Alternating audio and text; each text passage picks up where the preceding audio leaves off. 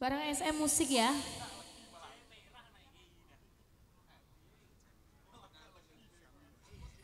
Iya mas. SM Musik.